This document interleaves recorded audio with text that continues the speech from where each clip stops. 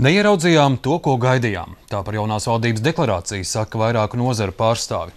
Valdības sola veicināt ilgtspējīgu Latvijas attīstību, saliedēt sabiedrību un stiprināt tiesiskumu.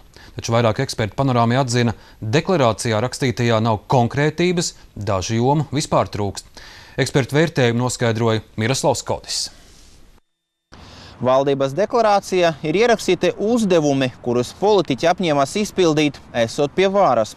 Kopumā deklarācija ir 168 punkti.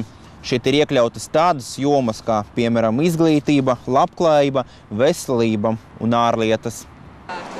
Izlasot šodien parakstītu deklarāciju, politikas pētniecība te kažoka ir izbrīnīta. Kur tad pazudusi sadaļa par sabiedrības piedalīšanos politiskajos procesos? Viņa uzsver vēl pirms nedēļas deklarācijas projekta, kas bija publiski pieejams, par to bija minēts, tagad nav. Mani tiešām ļoti izbrīna tā marginālā loma, kas ir atvēlēta sabiedrības līdzdalības jautājumiem.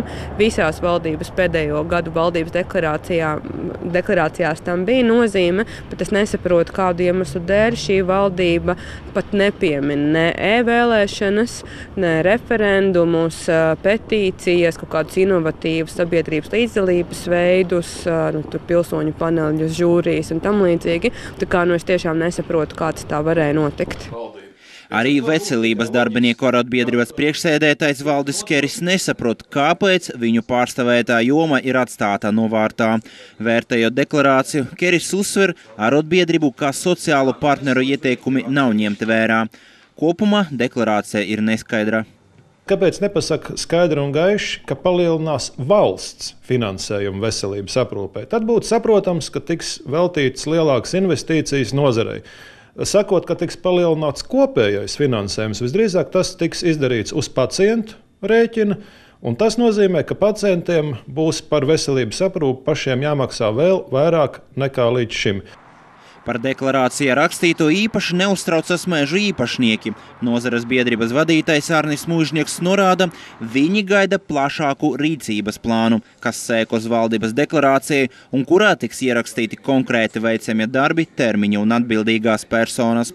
Meža saimnieki aicinās valsts iepirkumas izvēlēties Latvijas koksni koksni kā mūsu vietējais un atjaunojams resurss būtu plašāk izmantojami. It kā jau atsauce uz to ir, ka mēs veicināsim plašāku koksnes izmantošanu, bet, manuprāt, to varēja likt iekšā arī punktā, kur runā par valsts iepirkumu.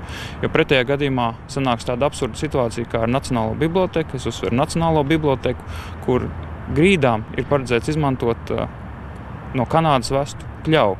Jautājums, kāpēc ne mūsu pašu? Ja piecu baļu sistēma, kādu atzīmi jūs liktu deklarācijai? Es esmu gatava vērtēt tikai tās jomas, par kurām es jūtos kompetenti, proti, valsts pārvalde, tiesiskums, sabiedrības līdzdalība. Tur es teiktu, ka trīs balles. Manuprāt, šī valdības deklarācija attiecībā uz meža saimniecību nav ne tā pat labākā, ne tā pati sliktākā. Tā kā, nu, ja jūs gribat no manis tomēr izspiest šo, šo atzīmi, tad es nu, četram mīnus varētu droši vien likt.